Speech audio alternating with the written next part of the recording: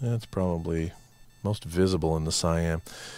In this particular case, we have quite a well-behaved set. So what I'm going to do is I'm going to uncheck a few of these. Um, there. Now, one of these data sets is crazy, as you can see, and this, uh, you know, done on purpose for today so that you can see what kind of thing is going on here. Uh, but what you can see in this particular graph for cyan is that you have these particular data points, but curve has some corrections that it really wants performed. And now you can go to each channel and make a decision about, this is quite a whacked one, about um, how you want things to appear. How, how many data points you want, how many control points you want. And I'm going to zoom in on this part of the graph, okay? And I can see just for the, you know, sake of, of example here that perhaps at, uh, oh, I don't know, 41% or somewhere near 42%, I should probably have another control point here. So I'll go over to the thing on the right here, click plus, type 42 and hit return, and Curve adds that control point to the set of control points. You can see it, it, it matches the curve shape that, uh, that Curve actually wants us to do. So using this method, you can zoom in and make sure that you have the right kinds of control points that you want in uh, coming out of Curve. The curve is doing the hard work for you, basically. And, and you can also make your own choice here about whether or not you want to take advantage of a really high dense, high resolution curve and follow a crazy curve all the way along, or if you want to put fewer data points in there, not necessarily follow the bumpiness of your system. You know, fewer control points means a smoother system. It may be at the cost of uh, of of, uh, of accuracy, but it will be smoother. So this is a new feature that, that I, I really like because I always felt that if you had a RIP that could uh, would allow a number of different control points in there, it wasn't always easy to determine how many you should do. Uh, you should do a lot or a little, where you should put them. So, okay. As before, you can go under the gray balance. You can turn the gray balance on or off, and you can go into the options and determine uh, where you want, wh whether or not you want a, a, new feature basically that we call precision gray balance, which is normally on. But if your data is kind of whacked, like in this particular case, you might want to uncheck this, and it, uh, it can smooth things some. Uh, and the gray correction threshold is the same parameter as it was before, basically, where it starts it starts to feather off the correction from a certain point onward. So that particular area is uh, unchanged. Now, when it comes to exporting data, uh, we've definitely expanded on the options that we have available to us.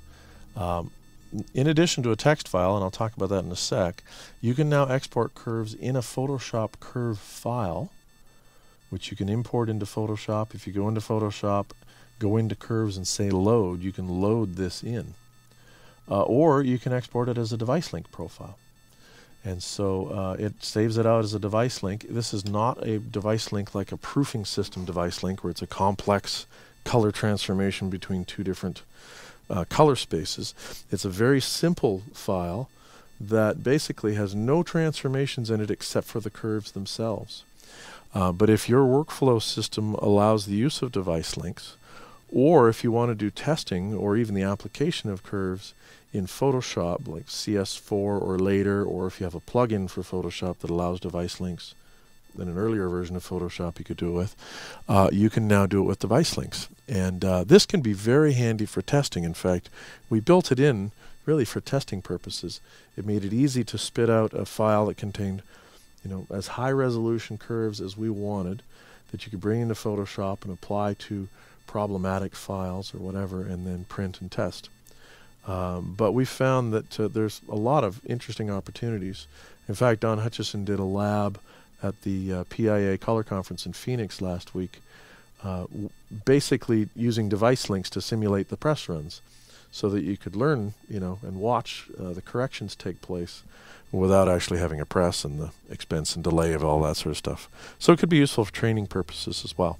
The other uh, possibility here is a text file, and there are a few different formats that we support. The CGATS format is a pretty typical one that Curve used to export, certainly is available as well. Um, uh, the TED file format, which is a new uh, file format that we like. It's been presented to us as a as a possible um, I don't know, hopefully maybe sometime in the future, a standard. It's a simple file. It's XML format, um, and its its sole purpose in life is to hold curves, just multi-channel curves or even a single curve in one file. And we're hoping that RIP vendors uh, will support this kind of file, and other workflow vendors could support this kind of file. It's not a, uh, something of our invention, and strictly speaking, it hasn't been officially announced yet. But we we thought we'd put it in here because it really was easy to support, and now no one can say that there's no such thing as a, a, an application that'll create these. So it kind of ends the catch-22. Now we'll it's easy to remember, and I don't think there's anything else called a TED file in our industry. So it makes it, you know, unique and should be pretty easy to pass around. Now we do have uh, the the SAG for RIP information didn't get in here as, as when we when we shipped 2.0, but we'll be putting it in soon.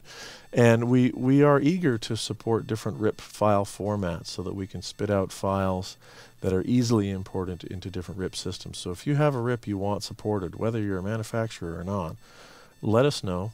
Send us example files if you have them, and we will do what, our, what we can to get them in there. So there's a, a couple of buttons here that you may have uh, noticed, you might not have noticed. Um, one of them is this calibration run report button. So we've we've expanded the reporting capabilities of Curve significantly. Uh, in the first version, it would spit out this text that was really a bare bones print, and the kind of the sole purpose of it really was to um, basically get this list of values here on the right printed so you didn't have to write them down or do some sort of screenshot hack or something. Uh, but we've expanded on that significantly, and there are two different kinds of reports that are available now. The calibration run report basically summarizes uh, the graphs and the information that you've seen in front of you, as well as the customer information and all that sort of thing. I'll do a quick preview here so we can see it. That basically, as I said, it summarizes the, uh, the, the information you may have typed in at the beginning.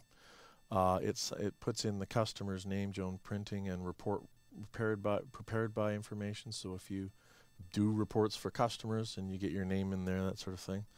Uh, obviously, it has the control points as well, some graphs and some of the statistical information are all summarized under this one report.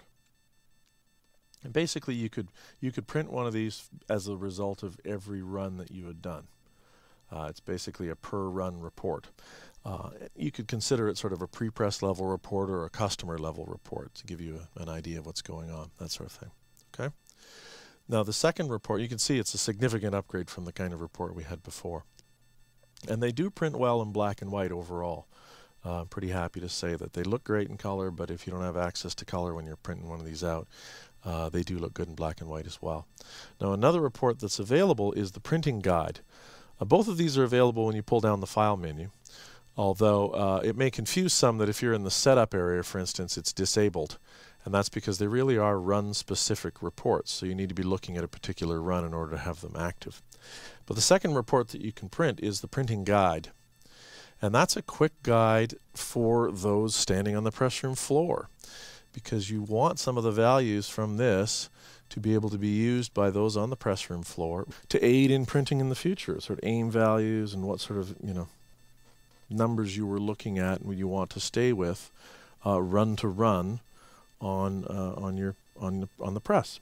So again, it's a quick printing guide. It's easy to print out. It's got some great information that summarizes, and it also has a number of different areas where you can see it's blank. The purpose for that the purpose for that, especially where you see it says production, is for you to use your production instrument, that's kind of the name we decided to use in this particular case, to describe the instrument you might use standing at press side, or maybe it's press console style instrument. Um, because the measurements on that instrument may differ from the ones that you used, uh, that you got from the instrument you measured all the P2Ps with. If you measure all the P2Ps with an ISIS or a DTP70 or something, and then when you're printing press side, you have a handheld. This is the opportunity to write in the values from the handheld in case they differ so that you have production values on a day-to-day -day printing basis. So we are looking at basically one run in curve.